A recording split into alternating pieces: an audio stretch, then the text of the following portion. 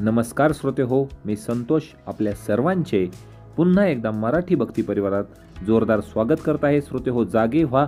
श्रावण महिना चालू होऊन दोन दिवस झालेले आहेत आणि आपण अजूनही शिवाराधना करत नसताल तर हा व्हिडिओ आपल्यासाठीच आहे. आजच्या या खास व्हिडिओत मी तुम्हाला देवासमोर दिवा लावण्याची काही महत्त्वाचे नियम या व्हिडिओत सांगणार आहे. नियमित रूपाने सकाळ आणि संध्याकाळ देवासमोर दिवा लावल्याने त्या जागी प्रकाश आणि सकारात्मक ऊर्जा सक्रिय राहते. सकारात देवासमोर शुद्ध तुपाचा दिवा आपल्या डाव्या बाजूला व तेलाचा दिवा उजव्या बाजूला ठेवावा. बरेच जण चूक करतात ही गोष्ट लक्षात घ्या. पुन्हा एकदा सांगत आहे देवासमोर शुद्ध तुपाचा दिवा. हा आपल्या डाव्या बाजूला व तेलाचा दिवा उजव्या बाजूला ठेवायचा आहे. तसेच तुपाचा दिवा लावण्यासाठी पांढऱ्या रंगाची कापसाची वात वापरायची आहे.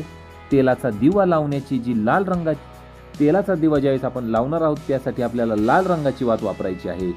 गणपतीची कृपा मिळवण्यासाठी तीन वातींचा दिवा आपल्याला लावायचा आहे. तसेच लक्ष्मीची कृपा मिळवण्यासाठी सातमुखी दिवा लावावा. व्यापारात आर्थिक लाभ मिळवण्यासाठी शुद्ध देशी गाईच्या तुपाचा दिवा लावावा. तर शत्रू आणि विरोधकांना दूर ठेवण्यासाठी कालभैरवाच्या समोर मोहरीच्या तेलाचा दिवा लावावा.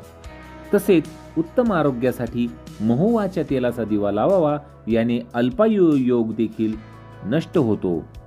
तर श्रोते हो अशा प्रकारे अगदी थोडक्यात देवासमोर दिवा लावण्याचे मी तुम्हाला नियम सांगितले आहेत. आवडले असतील तर व्हिडिओला लाईक करा. धन्यवाद.